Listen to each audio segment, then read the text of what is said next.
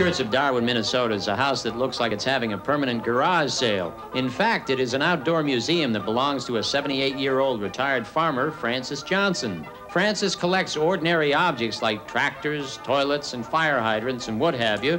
But the extraordinary object that brings people by the hundreds to his front lawn museum to gape at in amazement is one that he has spent his life creating himself.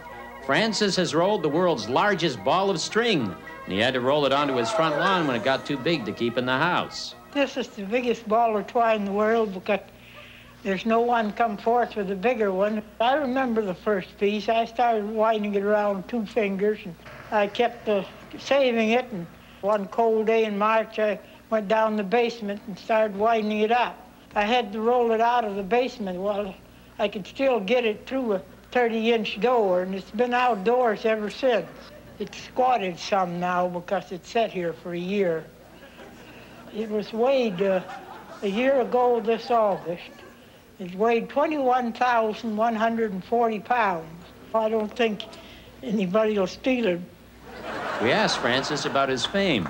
Well, I don't know about that, about being famous. I, uh, uh, I'm a modest little guy from the sticks, so uh, they got they got to take me as I am.